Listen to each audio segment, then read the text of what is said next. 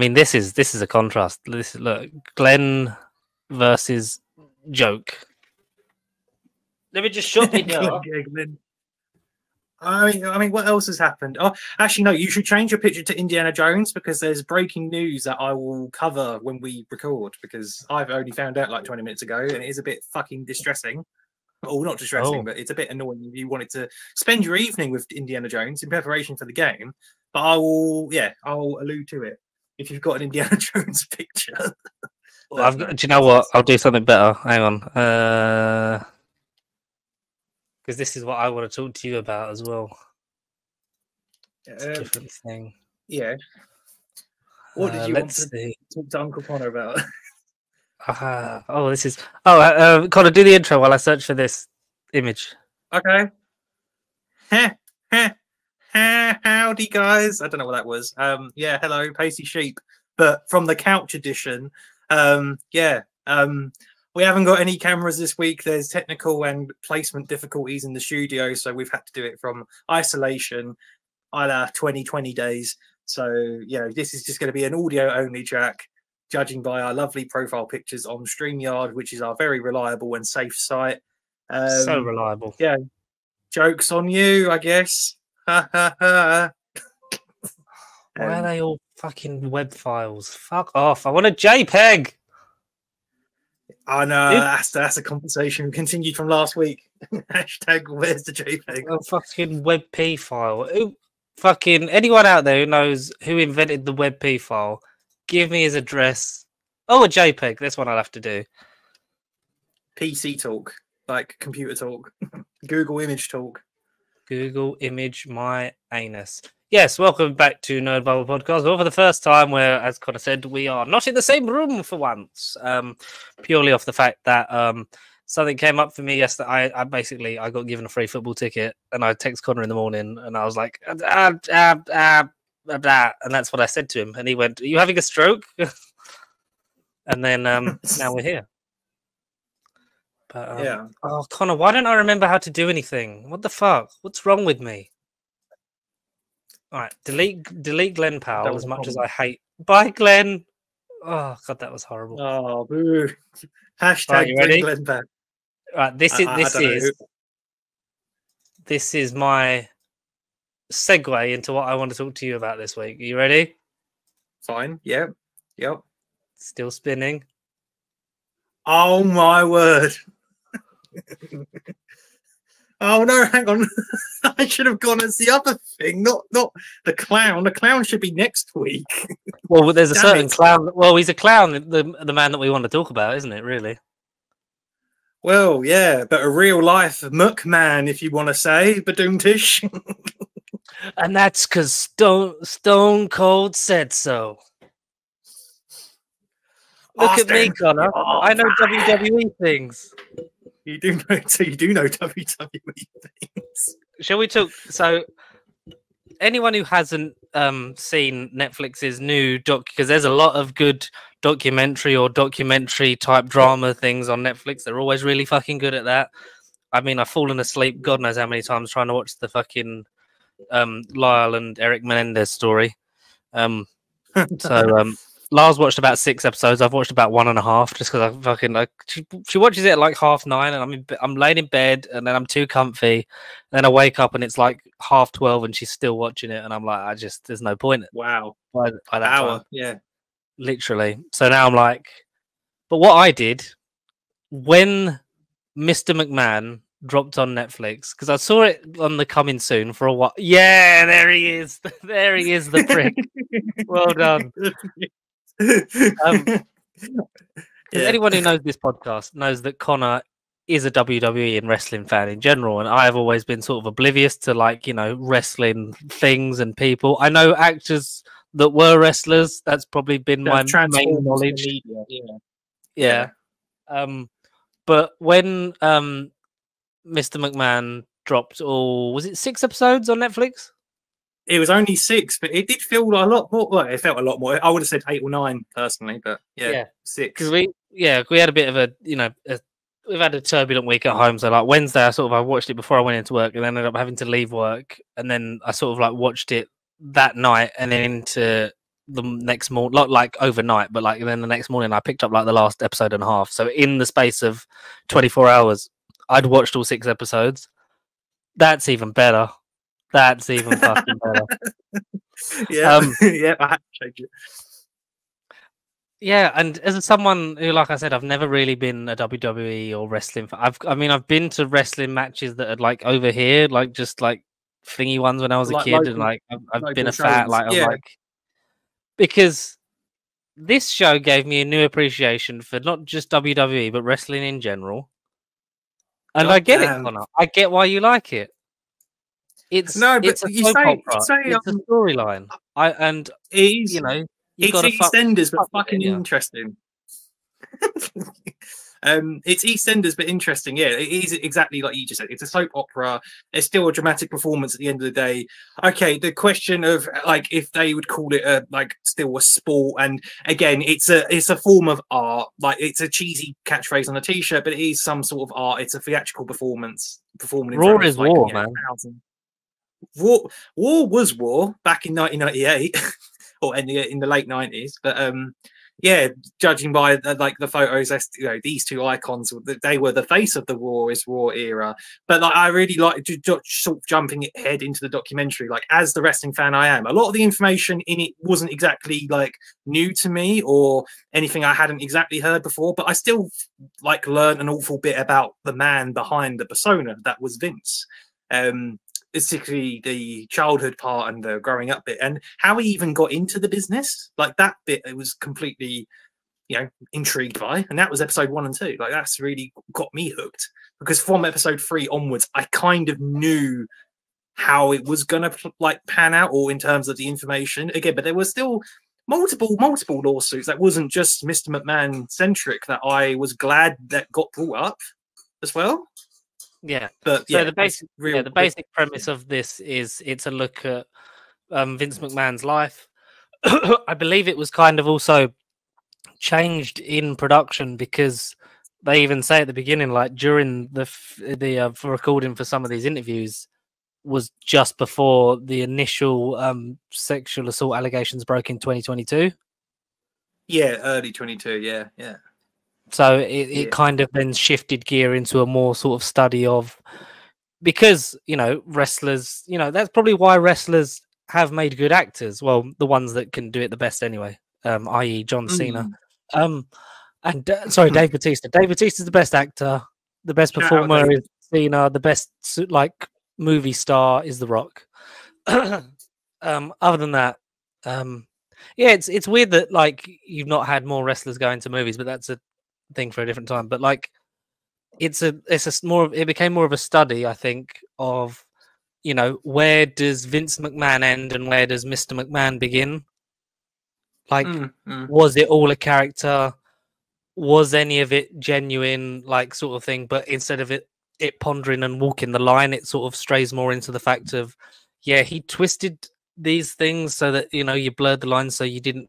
To uh, even the last episode where I think it's an interview from well early on, where it's like you know, I don't like you sort of then sort of lose like you know what was real, what wasn't, you know am I Mr. McMahon or is you know Mr. McMahon me sort of thing. It was like it Mm, sort of mm, become mm. into that and like you know it didn't paint him in the best light, which is probably why he's you know before it came out tried to buy it and a lot of the higher ups towards the end of the Yeah. um documentary like the last episode talk about how like you know they just you know you didn't paint Vince as a as a good guy like obviously you know he would have done good things and looked after his employees but there was Yeah. stuff we can't ignore in that and which they pushed more on that because the guy who did this He's what- the ones that did Tiger King, aren't they? Aren't they? they did Tiger King, yeah, I was say like what sort Yeah. of thing. So they're used to sort of like with that it kind of, you know, it walks the line a bit of like, you know, this is all crazy and stuff and like is any of this, you know,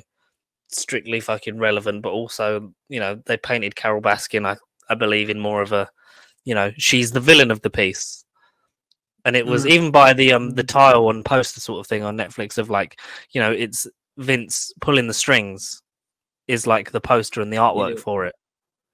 So it's Yeah. all it's yeah, it's interesting. As like I say, for me, like I'm gonna let Connor just rant about WWE, which is something I'm I'm sure he's wanted to do for years. Um, but as someone whose only previous experience, other than like seeing The Rock, John Cena, and Dave Batista in films, was like I think I had a Hulk Hogan action figure, and there was a kid at my primary school who had an Undertaker lunchbox. That was about it. That was my main experience of wrestling. Of wrestling. Wow. Yeah. Yeah. I know because they even talk about that. um, You know how some people were like, "Oh, it's all fake. It's you know predetermined and stuff like that." But it, like you say, it is art. It is the performance. So I do appreciate that now. But Mm. um, I was just so fucking intrigued by it, man. Like it, it just grabbed me. Like it's one of those. I was watching. I was. I watched like the first 15, 20 minutes before I went to work, and I was like, "Oh, this is you know this is okay." Like uh, I'm sort of you know seeing you know you see bits of him. You see how sort of like he went from just a commentator to becoming the main guy, like the face The of wrestling for for a yeah. generation. Yeah. And like when it when it was when they got into like the WrestleMania three stuff with Andre the Giant and things like that, and then it was like a Ninety-three thousand people. Hulk Hogan Yeah. Silverdome. Yeah. Nineteen eighty-seven. Yes. yeah, and it's like and then that kick, and then like the fact that you know even with that with the numbers they sort of like you know said there was ninety three thousand people, but there's other reports that it was seventy eight thousand. So there was all it was all starting to like the power was starting to get to him, and he was building this brand massive, like you know, and it was taking off. And you get through all that, and I was like, "Fucking hell, this is so intriguing." Like I don't know whether it, it was Yeah. you know, it wasn't like Yeah.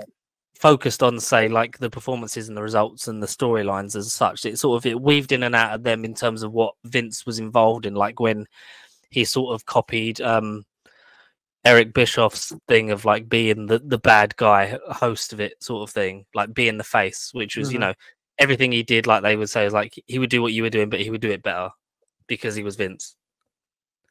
Like it was Yeah, all those kind of things. it. Was like this, like this is so fucking interesting. Like I'm like, I get why, you know, people like this kind of shit. Like it's amazing.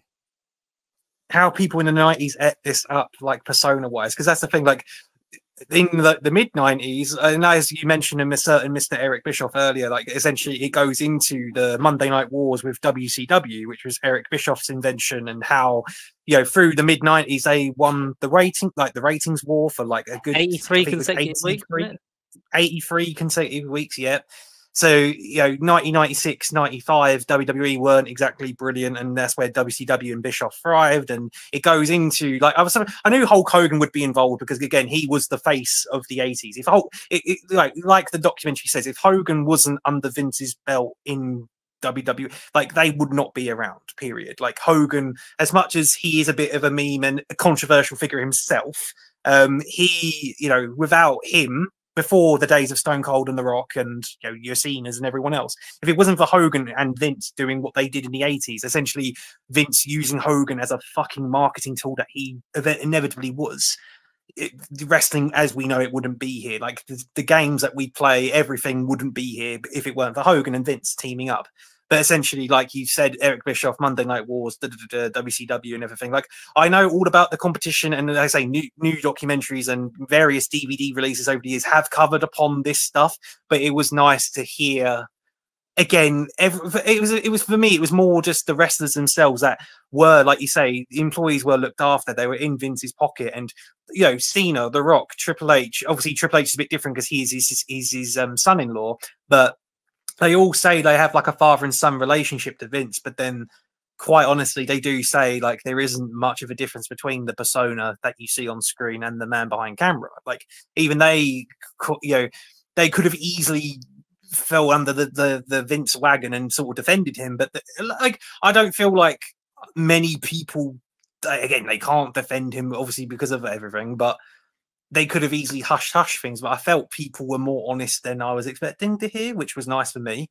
Um, but yeah, it, it covers things which again I've heard before, but it's nice for someone like you to hear how the business was. And like you say, it covers what Vince was involved in, but obviously Vince was involved in like every integral event in the history of wrestling, so, like throughout the 80s and 90s, especially. Yeah. well, Um, it's like they say. do- like- Yeah. Sorry, it's like they say towards. I think it's either like I think it's like towards the end of it, so it might be like episode five or six. That it's like you know, rest like he is one of the most important people ever in the history of wrestling. This guy, Oh, like, period. without, yeah, like- period. you know, you had the you know the stuff in the eighties, the slump in the nineties, the creation of the Attitude Era, and things like that. You know, winning back Mm. WCW, buying him out, the fact that you know Yeah. if you fell out with him, he was more likely to bring you back. Like all that kind of shit, Yeah. like shit, like how tough he was on his kids, getting his family involved in all that stuff as well, like the affairs and things like Mm. that, like storylines. Like it's it's crazy that Linda, his wife, has stuck by him because he didn't say in the interviews like former wife or it, it- as far as I'm aware, they're still married. It's crazy. Like you know, in my opinion, it's crazy. They're still. oh yeah, it is, especially yeah with all that stuff going on. But it's like you've been together Yeah. that long. It's like you know, it's one of those things. And it was it was more surprising. I think it feels like a complete and interesting documentary, and then like it's kind of like the end of like six when they go into like you know, you know he cancelled like the rest of his appearances on this after the allegations, and it goes more into obviously like it touches on all those things throughout because that's become the through line during when they're making this. But it's the Mm. more modern day stuff. It's like it then sort of like side angled into like, and then all this is happening now, and like you know what's going to do about, it? and it's almost like you want more of it, you want it to carry on. But um, so before you watched it, um, as you are, you know, the WWE expert in in not the room, but in the metaphorical Yeah. cyber room. Pre Um, COVID, I, I I feel like I've stumbled the last couple of half years, but luckily I've got the 2K game sponsored sponsored Mm. games to keep me up to date. But yeah, um, yes, sorry, yes, So I am the expert. what what so you're pre um pre all this pre mate you could even say pre Mm. the allegations like opinions Mm. on not just WWE but Vince himself like what was he to you what was he to me? I mean, so again, without going into the whole history, I've only watched like I've only been into WWE since my teens. It's not something I grew up with. I didn't fortunately get to live through the Attitude Era and the absolute highs of wrestling. Like they even say in the documentary, like into I can't remember who says it exactly, but in terms of like revenue and highest grossing and fan attendance, I think was like 1998 to 2002, which is when 2002 was the year of the lawsuit, and WWF had to become WWE because of the World Wildlife Fund. But essentially, I so I properly tuned in around 2010 time, um, and Vince wasn't in the scene around then. And then you have another character that's a prominent feature in the documentary in the form of Bret the Hitman Hart, who again is one of the biggest faces of the 90s, and he for many many years as the documentary reveals about the Montreal screw job, which again, I think that's maybe episode four or five. So I won't try and spoil it. And again, for people that know already, you you- again, it's an infamous event in all of wrestling, let alone WWE. But um, yeah, it was around 2010 time that WrestleMania, WrestleMania 26, and Bret returned, and again he's calling out McMahon. He, you know, McMahon basically brings him back to the company. Bret returns since 1997 because of what went down, and um you know i didn't really get a glimpse of vince mcmahon but obviously i sensed there was beef between the two. But again it's knowing what was real life beef and what was storyline beef. So i didn't really take much of it at the time. Um mr mcmahon around the 2010s wasn't really an on-screen authority figure. Um you know, to, to pun the authority that's more triple h and stephanie mcmahon. Like his real life stalwart and his son-in-law they're they're they're the face of the McMahon's going forward um but anyway vince himself um again the way he talks to the audience especially in person a, great show host like hostman um you know again without thinking and having the foresight of what we now know uh, again times as i say times were different entertainment was different um you know the product around the attitude era is more for like the 18 to 34 aged males so it wasn't as family orientated as wrestling in my like, since I've been watching it has been. But McMahon himself, yeah, eh, there is a, there was a hint of a side to him, but I did I just I took it as showman. I didn't think anything behind the lines. It's more as you learn about Stephanie and Shane and their upbringing, and even them as when they conduct themselves in front of cameras, I start to think, oh, how I started to think in the back of my mind, like, how would Vince been like as a father? But of course, this is just regular thoughts as you're watching the product. Um, but McMahon himself, around the 2010s, wasn't really an on-screen figure. Like he was just essentially the well CFO. He was the owner of WWE for many many years. But again, as we jump ahead in the documentary, it wasn't until the initial bunch of allegations in 2022, but man had to step away, or he got. I think he he chose to step away in 2022, which everyone was like, no, no, Vince will be here forever. You know, it's his ride or die. Like this is his baby. Like he loves it more than his own family, kind of thing. But then he then essentially returns to the company last year and I think I may have mentioned it many, many podcast episodes ago. Like I literally said it as like, oh, by the way, WWE have been sold. But essentially, McMahon, despite the first initial batch of allegations, came back to the like the the board, the chair of board, and essentially then sold the company to um, along with Dana White, the owner of UFC, to form Titan Sports, like Titan Sports Inc. Incorporated or something. But essentially, like WWE isn't a like a limited private company now; it's part of a larger thing. Um, but that was in 2023, and then you know, since since the merger with UFC, then that's the thing. The second batch of allegations, which were already fucking terrible, even are now even worse. And even to this day, um, again, it affects a certain wrestler that has refused to comment on any of it, which is obviously not a good thing in any way, but I still find it odd that they've somehow not addressed it, whether it's real or not. But in the form of Brock Lesnar, like still to this yeah. day, like he was involved in this alleged stuff, and you know Brock Lesnar hasn't been seen. I feel since since the art, basically like yeah, Jan 2014, uh, 2024, 2014, Jesus, um, 2024. But you know it. Yeah, man, the man. Anyway, from what I knew of him, I wouldn't say much of him, but it's more then going back, playing again, playing the TH, THQ games, going through the Attitude Era for the first time, getting the DVDs as I have, and sort of getting a glimpse of how the era was back then and the doc and the product itself. You do get to that point of, oh, is this real or is he just playing a great character? And he says himself that there is no distinction between him and the character. But then that's it's funny how everyone else in these clips interviews say otherwise.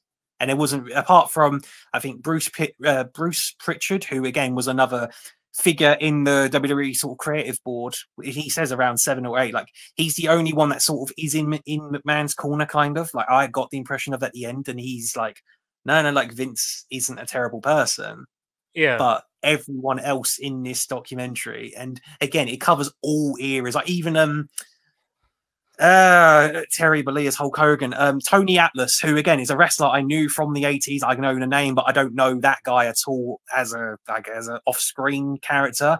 But the fact that he said some honest things about how his time was in the WWE, like in the 80s, and Vince in general. Like again, it just it started to the dots start to click, and like you say, it's just it is an intriguing fucking documentary. It just even though I felt like I heard it some of it before, like you, I just wanted more.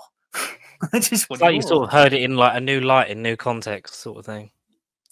Absolutely, but then a lot of the footage they'd shown, yeah, sure, I've seen it plenty of times over, but again, it's just having the foresight that we now have, and yeah, cancel culture is a thing, guys, and it can happen to anyone at any minute from the sounds of it. But like when it happens to people that kind of deserve it. And again, it's now if if I was to go on the WWE network and go back to the the good old days of Vince and you know just WWF in general, sure it's going to be tainted. It's going to be fucking weird. And knowing that, yeah, the product was trying to be edgy at the time and you know trying to break the barriers and ultimately try to beat their competition but knowing McMahon's limits, and again, like, I'm not trying to advocate for him at all, but unless he has like an undiagnosed sort of mental illness, and the fact that he's like, there isn't anything different in me, like that's just me. And uh, the interviewers like question him in some of the clips, but he's like, no, no, no, that's not true. And then you get clips of the other people in in the documentary, and they're like, no, it's the opposite.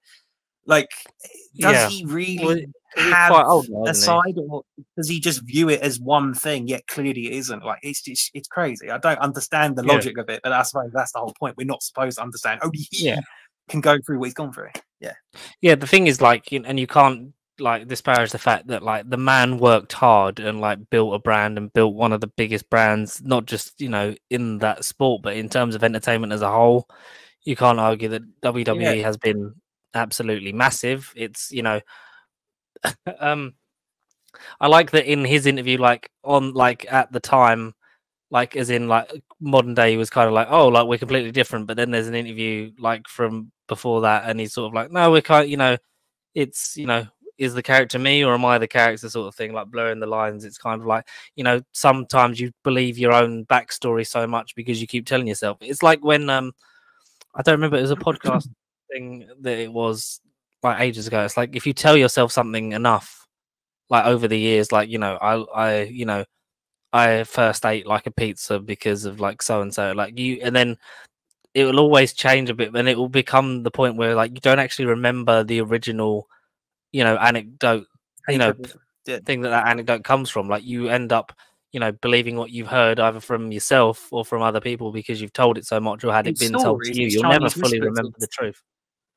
Yeah, yeah, it, it's word of mouth. It's yeah, exactly. Um, but as I say, to back that yeah. up, again, it isn't mentioned in the documentary. Undertaker, 1999, Ministry of Darkness. He became that character so much that even other people off camera were, and even him in public, he would not distinguish himself as Mark Calaway or as the Undertaker. He really became the Lord of Darkness like off camera and you know did some awkward stuff at that time again it wasn't a thing in the documentary it's just something that i knew at the time but that led to a brief situation for him in the late 90s where he almost had to quit the company. He had to, he basically got, you know, he chose on screen. He basically was like, you know what, sod you, Vince, I'm going. But that was a segment. That was, that wasn't him being real. That was just the, how they wrote him off TV. But then that did lead, you know, for a brief period in the late 90s. Like he was an Undertaker as well in the history of wrestling is one of the best, greats. He's one of the goats. And I'm not suggesting that Mark again, God forbid anything bad comes out of him because he seems like one of the most down to earth like people performers in all of wrestling. But there was a time in 1999 where, like you just say, once you begin that, once you believe you're something, and again your craft and dedication, it will it will you know overthrow all other senses and priorities. Like if you believe in something, you can get consumed by it, and you will become your thing. Um, but but yeah, that led to the whole American Badass thing, and yeah, this is not Undertaker, so that's a whole other separate discussion. But um, yeah, it's essentially backing what you're saying. Like once you believe something, and you know your will, and you know you don't know yourself how far you're going with it, but then Vince, Vince was a fucking genius. But for me, it was more about Vince McMahon Senior, and again how he how he started off in the business, and essentially how Vince McMahon Jr. had the confidence to buy the business from his own dad, but then they still had to be in the business together. But then, you know, not having the tough love sense of, oh, like, you know, well done, or not having the official like father and son relationship. Like people probably did look at them as a pair and think, oh, like that's not a good family, di- like family relationship. Vince in the interviews, like, yeah, rightfully, wrongfully is all subjective, but he he reckons his father loved him, but all they had a good enough relationship. But he did say like he had to sort of work to get the love from his dad. And yeah, there's instances where he sort of admits to it, but it's only once or twice to get love from you know, his dad. But it's just for me that was more the the crazy part. I didn't know how young, say how the young Vince got into the business. I didn't know he was born into it. I didn't really, I wasn't really aware of Mr. McMahon Senior because when you when you hear about Vince on TV, it's always Mr. McMahon. It's he's never been introduced as Mr. McMahon Junior. It's always been Vince. So I just assumed he was the man from the get go. But mm. yeah, it's the early stuff that really, well, I guess, just yeah, intrigued me. But that's more episode one, two stuff. Um, but yeah, um, yeah, that was I'm going with that. But yeah, episode one and two, that's the good stuff. Early Vince before he became who he became, so to speak. But no, yeah, I really did. um I really did fuck with it, man. It was it was good stuff. Like it was just so like this is bonkers. Like you know, the storylines of like his you know his kids as well. Like the fact that you know obviously like he had that tough love stuff with his father, and that's you know probably why he was as harsh on fucking Shane as he was, kind of thing. It was, you know, it's Shane. all the breaking yeah. the cycle thing, isn't it? Like, you know, mm. your your father. Shane out of all Shane out of all of them is probably the most sincere man as well. But he, again, like the documentary alludes to, like he originally thought he was going to get so inherit the business from his dad, and and you know without jumping into foresight, but that isn't how it panned out for him. A Shane I don't think. Well, I, uh, I, mean, I could be wrong. I think they said he might still be employed by WWE, but he's now more of a backseat, like creative figure, like one of the the chairman of boards. Like he's not an on-screen persona that he's he, no, he's best known for his ten years of WWE. So no, I don't think he's even in the company now. Shane, but yeah, he's not. Yeah, Shane. there's a sort of thing that he's kind of like it's it. It doesn't seem to be under contract by WWE at this point in time. yeah, Because obviously, like you say, like um, Vince resigned, or like as many people believe, he jumped before he was pushed, sort of thing, in 22 Mm. because the allegations were starting to come forward. And um, at that point, of like from what it looks like, I mean, you can tell me more firsthand because you watched it when it actually happened. But like the first WrestleMania after Vince was apparently some of the best Yeah. numbers since the Attitude Era. Yeah, well, it, it was so I think WrestleMania 39, which is the 2023 WrestleMania, I think might have been the first one. Essentially, WrestleMania has been a one night show on Sunday since WrestleMania 1, but then the two night show format has only been a thing since COVID. So WrestleMania was always a Sunday one night event around March, early April time, uh, always on Sunday. But then essentially yeah, pre-COVID, post-COVID, the, the business had to adjust, and they've always done like night one and night two events, so it'd be on the Saturday and the Sunday.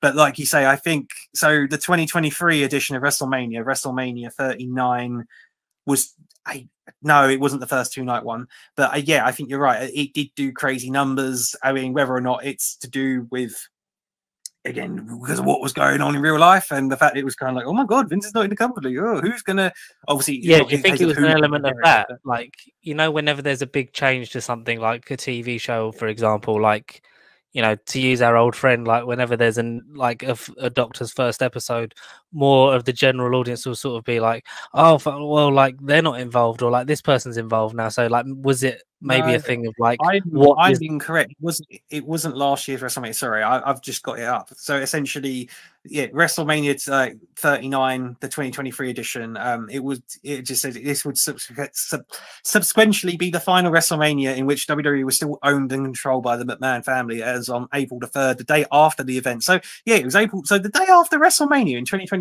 that's when the company got sold. That's when you know, allegedly Vince came back and sold the rights to Endeavor and form sorry not titan sports ignore Yeah. me but endeavor where wwe and ufc joined or joint aligned with this endeavor company so that so Yeah. that was basically april 23 is when they got sold but it's basically wrestlemania this year wrestlemania 40 that's again the big numbers and i and again whether that's down to icons like The Rock coming back, it's John Cena or the various stars and performers. And I think, bearing in mind, I think Triple H and Stephanie, like together, I think had both done shows like prior to this year's WrestleMania being like the first McMahon, non McMahon led WrestleMania. Um, but no, I, I thought it was last year, but essentially it was this year. And you're right, it definitely did do fucking well with numbers. And again, it was a brilliant, brilliant two night event. Um, but that might just be more down to the year long storyline that started with WrestleMania 39 with Ro- Roman Reigns and Cody Rhodes. Again, I won't go into that because that's a fucking story and a half that will take you all throughout COVID. But no, essentially, it could be for any reasons. But you're right. Like the first Vin- without Vince, the first WrestleMania without Vince, of course, that would have more eyes on the product than ever because it Yeah. was his baby. well, in Um, terms of like yeah yeah. because tw- like because from the documentary does like the 23 one which was the first one that was fronted by you know triple h and stephanie like with a what it's like you know it's this generation now and it seemed like it was going to be a Yeah. thing of like in good hands but obviously she resigned then when he came back not long after Yeah. and then obviously it's been sold and now he's then no longer again involved in it in any capacity so we'll see kind of the proper effect of that it you know through 25 and like what that looks like as a you know the actual first full year without Vince involved in any capacity whatsoever. Because also him coming back they talk about how then being part of the subsidiary it's not like Vince Mhm. has outright total control anymore. So it's then he's a piece in a in a bigger pu- puzzle so, so to speak so it, it'll be interesting and, to see and what that- yeah, it that looks like board now. then removed him, didn't they? And that board, the the, Endeavor board, then removed him as well because of everything. Yeah. So, yeah. so who's in charge uh, right now Triple H, as far as I'm aware, he Triple H, the game, his son-in-law.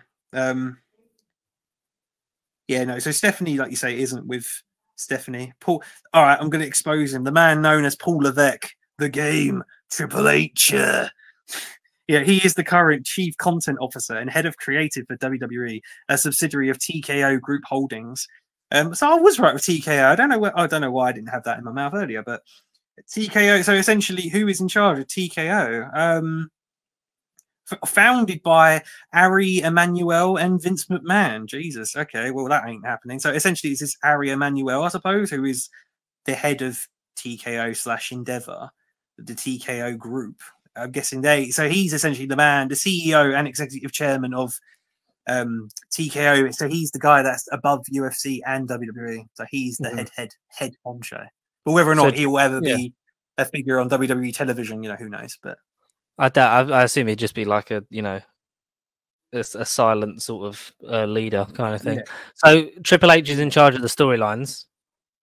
certainly Um, on screen as well. Yeah, yeah. So um, uh, well, yeah. So Stephanie obviously resigned when he came back, which then says a lot of like you know, was he she the one that sort of like with like tried to get him to leave the first time, sort of thing.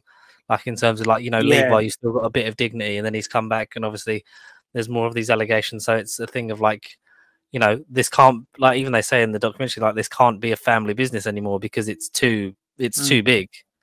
Like you you need someone at the head of it who's got a business brain to control these kind of things. Um, Mm. it's just it's just really interesting to sort of like know all those things like now obviously like in whatever capacity you'll never have 100% of the truth because we were never there sort of thing you know No. things can be edited or put in a certain way we're not saying they are but obviously there is stuff to be said there because um you know the, everyone's got conflicting like things with this man but clearly stuff has happened because he wouldn't be paying that amount of hush money like to certain Yeah. people over certain periods of time well like i almost like it's you know he does and i get like he didn't want to let go of it because he made it what it was and like without him like him he is so synonymous with it like there is not one without the other there is no mr mcmahon without wwe and there is no wwe without mr mcmahon sort of thing Absolutely. Yeah, But, like, absolutely. it's just like how like this was able to go on and like like you say such a product of the time especially the 80s and 90s into early 2000 stuff like it's it's wild compared to what it is now like in terms of Absolutely. Yeah. in terms of what they do Well, no, like- wrestling will probably never be that ever again. That's the thing. It probably will never get to that absolute peak. But I mean, I'm not confirming ratings are at an all-time breaking high now. But uh, even in interviews with like, like I've listened to a couple podcasts that again not WWE related as such, but he interviews wrestlers like in and out of WWE company, like AEW and all sorts of wrestling promotions. But another figure that was briefly in the documentary, uh, Cody Rhodes, like who's essentially is like the world champion at the minute. Even he said like all confirmed like revenue merchandise is at an all-time high. Um you know the wrestlemania obviously did amazingly well Uh, the company is doing all sorts of trends at the minute that haven't been seen for various years. I don't know as high as the attitude era so to speak but you know wwe as far as i'm concerned and as far as revenue and and you know interest and you know percentages and interest it's all it's through the roof. Like everything is skyrocketing. Whatever the, tko group the tko group are doing it's working as a business and they are kind of thriving. And I, that goes to tell with the WWE network and the amount of shows they're doing. They they they they've been doing international shows this year. Like whereas uh, their shows are basically in America. Um, you know, they have a partnership with Saudi Arabia, and that's been a thing since 2018, I want to say.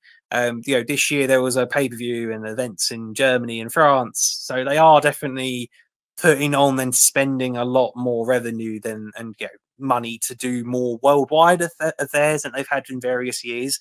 Perhaps in terms of inflation and economic money figures, it's probably not as high as the attitude figures, but you know they are in their way getting close to it. I imagine. Give it a couple years time, who knows where the business and the industry will be at. Um, but yeah, so everything is going right according to them, anyway. um yeah so like that's just you know it's just so interesting so were you sort of changed on anything having seen it all afterwards it just I, I mean I've wanted to kind of I've done most of the Attitude Era. Um, I've sort of been slowly watching it over the last couple of years, really, um, to get like a full on understanding of what you know, what essentially happened.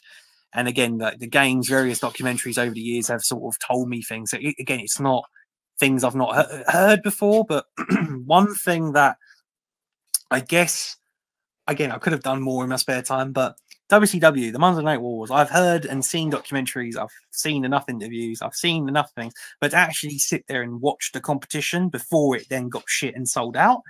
Um, um, you know, WCW and even ECW briefly, like that's a, it just it's those areas that I need to fulfill as a fan in me again, if I was watching it from when I was a wee little lad, then you know I probably would have done it growing up, and that would be old news to me. But um, in terms of what's changed, it, it would just be going back and watching WWE at its peak because as amazing as it was and entertaining and as questionable as it is at the time, like it won't be the same.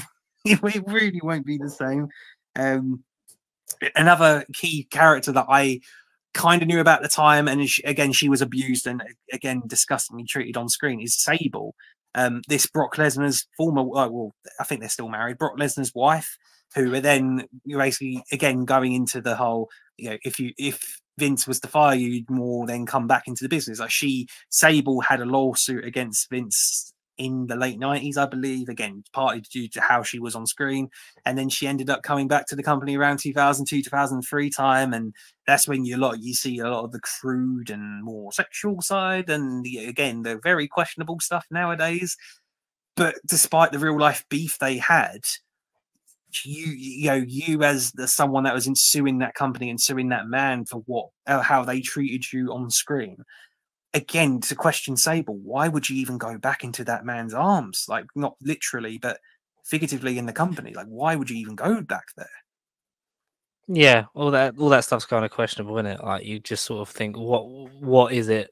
Is it just purely for the money? Is it something deeper than that? But Yeah, um, like, who yeah. surprised you in terms of the fact that they were involved or said something on it? Like whether it be like you know wrestlers or like anyone behind the scenes.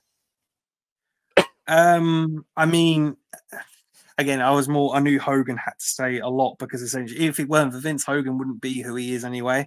Um, but in terms of surprises, um, I, even Cena, Cena saying some of the stuff he said because I mean that was again as the company was no longer attitude and no longer adult and the lawsuits so they then had to drop the f and become the e in wwe um and again going into his right i suppose john cena and him saying again because i think he was one of the first to say oh yeah like father son relationship and it was followed by i think the rock stone cold um you know i don't think hogan ever said that father son relationship but that's when in that whatever episode that was everyone sort of states how close they are to him and very much they could be in vince's pocket but I, I got the impression they were just trying to be as honest as they were, or as they can. Um, I did, yeah, surprise. Um, heck, Bischoff, because again, his competition in the nineties. Um, again, he's always been around for these other documentaries and Monday Night War related stuff, but uh, Bischoff was surprisingly honest as well. So I don't know, really. Like Cena and Bischoff, I guess, were surprising. Even considering the fact that he brought Bischoff back as the general manager of Raw. Yeah. Um, again, yeah, nothing dodgy in that. I think that was just purely a, a Disney, a business like showman business thing. Oh, look, Yeah. let's get this authority heel figure that everyone hated in the nineties. Let's get him back and shake things up. Like, yeah, I mean, I get, I understand that from a business point of view. Like, yeah, Eric Bischoff was a key, key. Oh yeah, that would yeah do Mm. it for the views, and also it would be it's like also a big like you know fuck you, I'm in charge kind of thing as well. yeah, it will be back as one of my many, many pawns. Yeah, exactly. Yeah. Um, Like yeah, I own everyone, sort of thing. yeah, especially you. Yeah. It- It's a it's a yeah. I enjoyed it a lot. I'm, I'm very insightful, very eye opening. we'll kind of maybe if anything comes up, at least we can kind of discuss it because I'd be in, like if we get any progress on what's happening with him. Maybe Yeah, we can uh, actually uh, keep on top of this. But what we can't keep on top of, apparently, is watching uh, Indiana Jones, Connor. Damn, that's what I was. I literally was going to change the picture. I found that out to like literally probably an hour an hour ago. I thought, damn it, that's well, going to be my hot scoop of the day. But yeah, well, Ryan, you've said it. well, no, because you were saying about like you know if you want to spend an evening with Indiana Jones. So what is what is the issue? Well, worldwide, as of today, I mean, it might be different time zones and stuff, but I read from this article today eh, all the Steven Spielberg led films, so anything pre Dial of Destiny, is removed worldwide in all of Disney Plus. They no longer exist, and there's no reason as to why. You can't watch them anymore on Disney. Strange. And I find that disgusting. The only thing that that's kind of happened with before has been stuff that's not solely owned by Disney. Like I know that some of the Spider-Man stuff was on there for a bit and then came off obviously, any time that they've I mean, had anything do badly, they've taken off of there. Spectacular Spider-Man, I think, is one of those few Spider-Man things that's still off of Disney Plus. I don't think they've sorted that one out. I think that's still removed, and that was a while ago. Yeah, but that's stuff that's not completely under their license. So, like, I kind of, you know, yeah. there is, you know, conflicting things there. But like with Indiana Jones, like they own Lucasfilm. All this that's like removing some of the Star Wars films. That's like taking the uh, original yeah. trilogy off. Well, who's to say they're not going to be next for whatever reason? Um, yeah, I say there are reasons or anything as spouted as to why it was just kind of like a dun, dun, dun, breaking news. You can't watch them anymore. Like, not that again. Physical media is important. I'm going to have to get the 4K set sooner rather than later because of reasons like this. Um, yeah, I'm just glad I didn't choose like this week to do an Indiana Jones rewatch because fair enough, I could do Raiders, Temple of Doom, no Last Crusade, and uh, yeah, that would annoy me. Um, yeah, so yeah, FYI, again, three days later by the time this comes out, but yeah, Indiana Jones no more on Disney Plus, unless it's the amazing Oscar nominated 2023 movie that definitely went down well with like a ton of bricks. Um, the Dial of Destiny. Yeah, that is it's it's stupid. It's like you say, it's why we still champion physical media.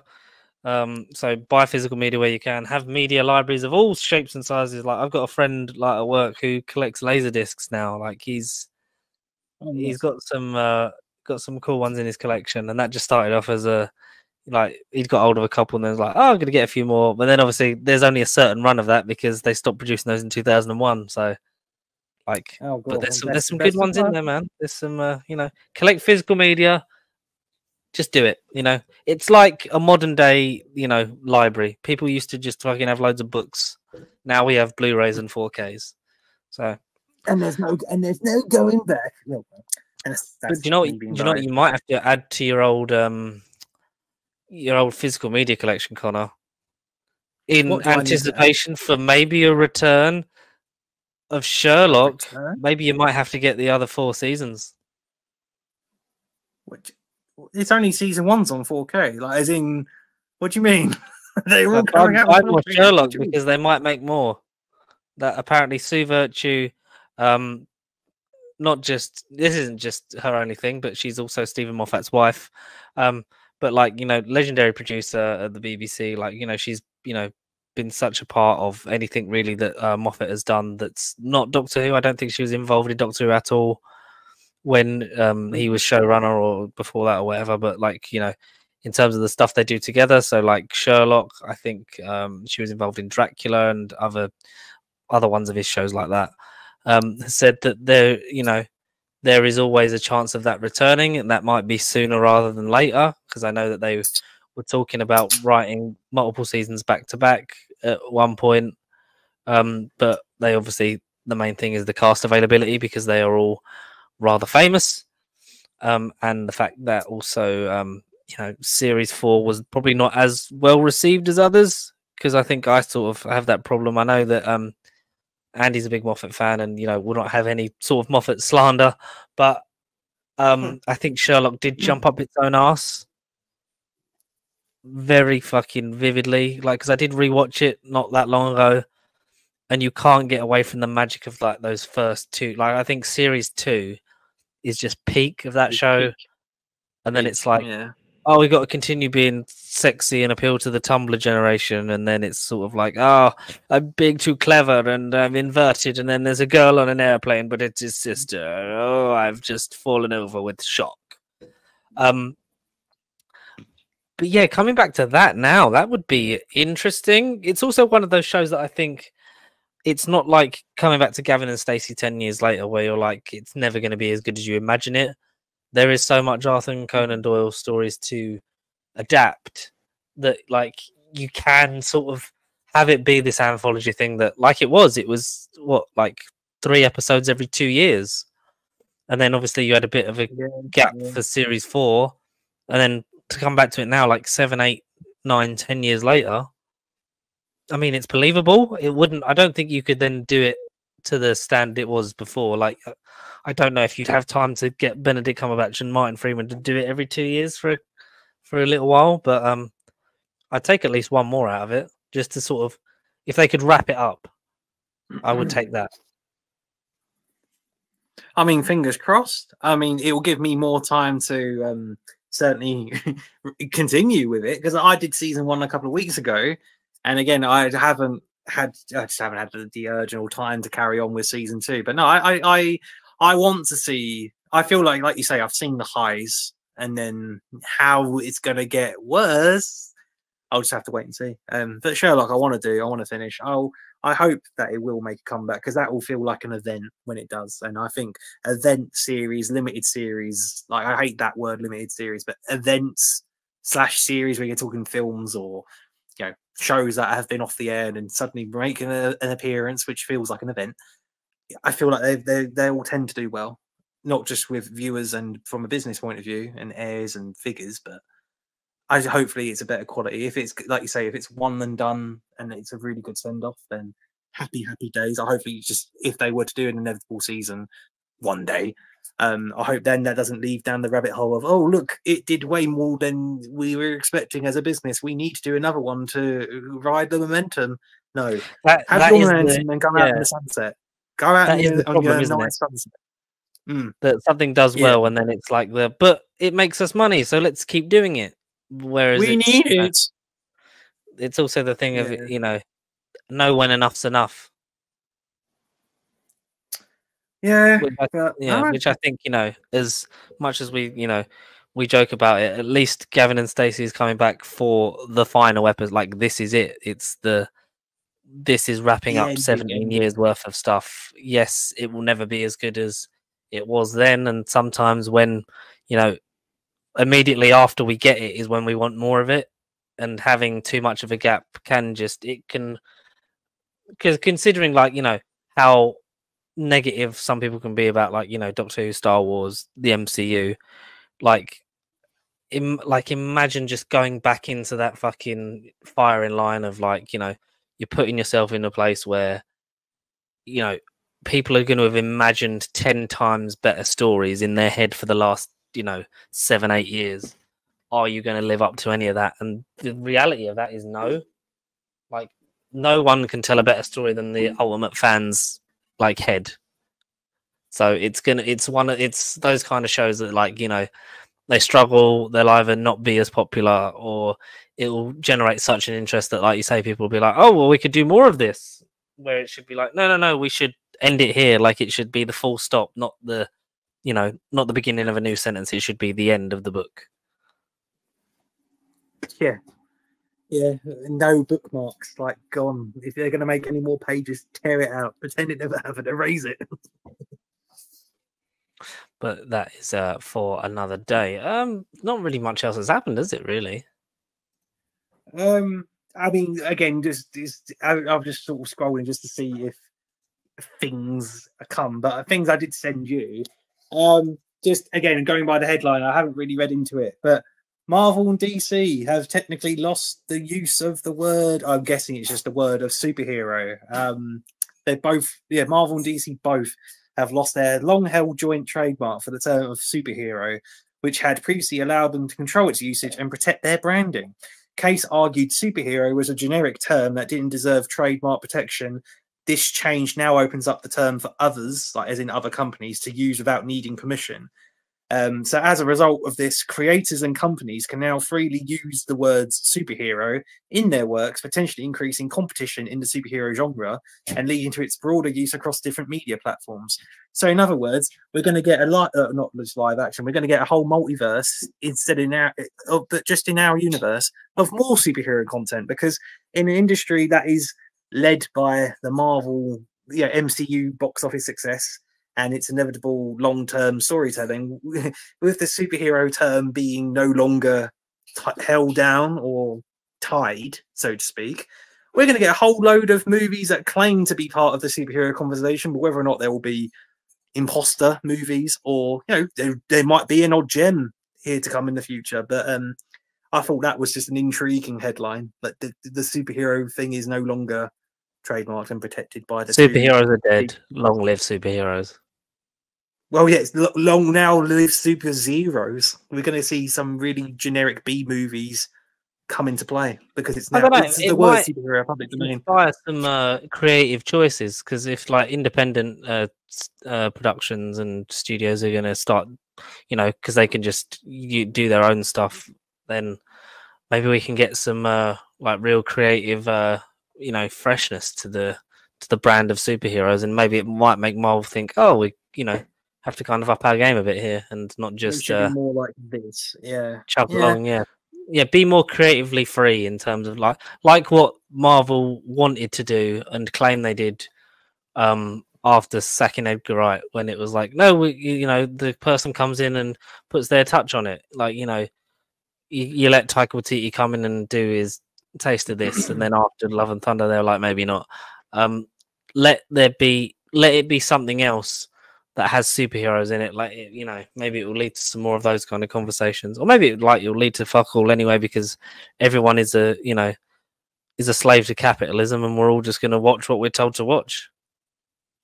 Yeah, but because I'm the free man and, and I'm no longer held down by the system, come and watch my superhero movie? Question quotation question mark. Like I don't know yeah. whether or not people just use it, and then you go into it and go, "Well, there was nothing superhero about it whatsoever." So yeah, it might just lead to more generic shit. Or again, you might break through the mold, you know, the the the mainstream competition as we keep slagging off.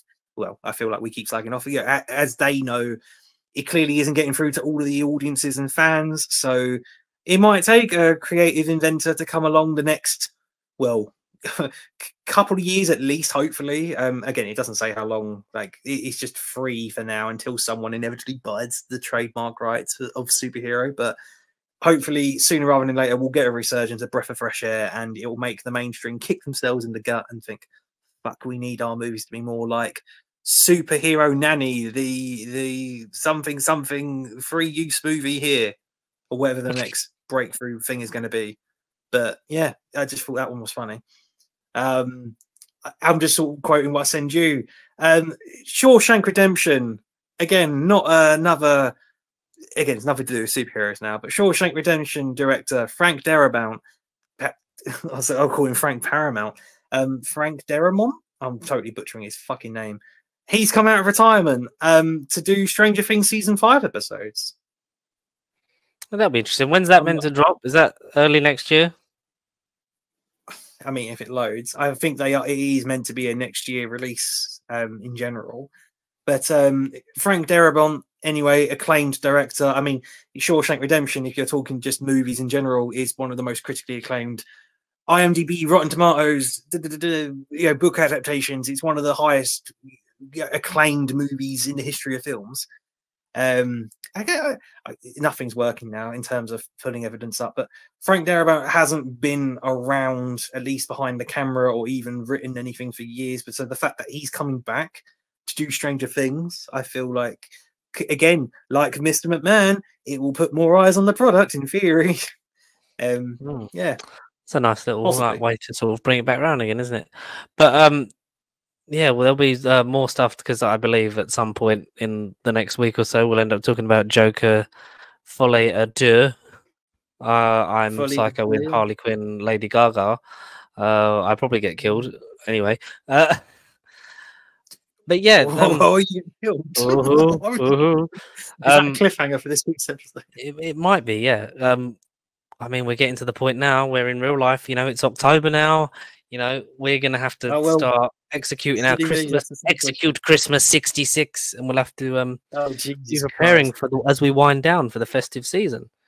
So Oh, um, I know we- we've got some stuff to record with Andy in terms of our actual Christmas special, and then talk about the Doctor Who Christmas special. We've got some spum Mm. to come with our spum chum Mike. oh, we've good old Spum. things. Um, but what are you guys uh, looking forward to? Have you guys seen Joker yet? Um, I don't really care if you have, but fuck it, tell us because we might as well listen to you. Um, and um, yeah, any good documentary recommendations? Maybe that, like, you know, not Yeah, just I mean, know, I'm going to watch. The whole it. world was revolving around this monsters documentary. Sorry, but as soon as I heard this McMahon documentary was still had a bit of a stealth release. I mean, 'cause I've this documentary project I'd, I'd been reading about for months and months anyway, but I was sort of typical that it came out the same week as. I mean, is it Monsters about the two brothers that killed the? I mean, the names escape me, but that's it. It's, like, it's more, yeah, it's more Or- like a drama, uh, like a dramatization of it. So it's um by the same people that did the um the bloody uh the Dahmer series with um what's yes, his face yes, yes, yes. Quicksilver. Uh, so Quick- it, that's Quick now. Peters, I don't know if you ever sort of you know you've you've watched American Horror Story, haven't you? Uh, yes, yeah, well, like little bits, yes, Yeah. not full Did on ever- seasons, but I have seen various bits. Yeah. Yeah. Did you ever get into American Crime Story?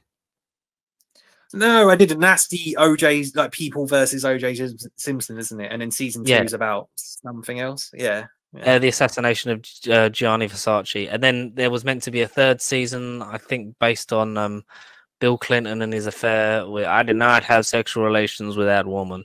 Um, I Ah, think there was nice. to be something like that, and that never materialized. And this kind of is almost pseudo like that, but with mass murderers. So like, it's the same Oh, sort of people. Um, and there is a third season.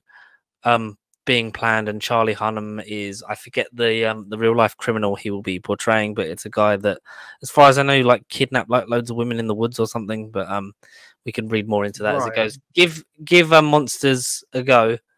Um you will be shocked by it because there's there's a lot in it, like in terms of obviously like you know, from what it's based off of, if you see side by side comparisons with some of the cult stuff and things like that, it is quite um shocking. But um there is also the fact that the person I think it's Ryan Murphy that wrote it, um, like didn't Yes. speak to the brothers at all. So it wasn't like a thing of like lots of in-depth research and then making it. It's kind of from what he's you know, from what he's gathered himself in terms of from the actual source and then done that, which I know uh, is either annoyed or you know, some people have, you know, enjoyed it either way. So we're um we'll see on that. And it it- has led to a lot of people Isn't there? it's Not to sorry, not to interrupt, right. you off, but someone at work was saying, um, isn't it an actual documentary in the vein of the like the actual brothers speaking about their crimes allegedly, and they're coming forward? I believe there is, and with that and with this, it has led to a lot of people thinking that there should be a retrial of the brothers, because in terms of like Right. the things that you come out and you learn about them in terms of their actual private life and why they did what they did, what that, um, yeah, there is stuff that you know that clearly would affect anyone, let alone them, and um, that kind of stuff was not allowed to be used as evidence, kind of thing. So it kind they um, it's weird because it was like it was like early nineties, so it's like you know they were sending them down for that, but not very like you're not surprised that it's happened. Oh. It's kind of like a you know it's hard to explain. If you watch it, I'll try and stay awake for the rest of it, and then maybe we'll talk about that next week and sort of see yeah, um, nice, okay, what you think on that. sounds good. But Yeah. lead us out, Connor. Where can the people find us? Well, YouTube, congrats. Um, maybe one day StreamYard, if it isn't a, a website, maybe it has its own separate app. You can follow us on StreamYard. Um, you know, Facebook, X, Instagram, not WhatsApp. That's a bit too personal for our liking. Um, you know, if there's dodgy MySpace sites, if there's really funny links, they'll be in the links down below. You can send us an email. You can send us your documentary suggestions or tell us what wrestling matches George needs to watch that aren't Vince McMahon involved that just are a really good time. You can send them to uh, nerdbiblecontact at gmail.com um, for all that good goodness goodness stuff. goodness stuff? Oh, broken English. Um, but yeah, I've been Vince. He's been Stone Cold. if you don't hit the subscribe button, like this video, share it with your friends, and even dare to put a comment down below, you're fired. You missed the perfect opportunity. You got to subscribe uh, because Stone Cold said so. yeah. Oh, you're fired. Austin 316. Yeah, big up Austin 316, always. Even it ain't Yeah. March 16th. Damn it. Or the third of the 16th month that doesn't exist. Or if it's not it does quarter one past, day. or if it's not just gone quarter past three where you are. Goodbye, everyone. Uh,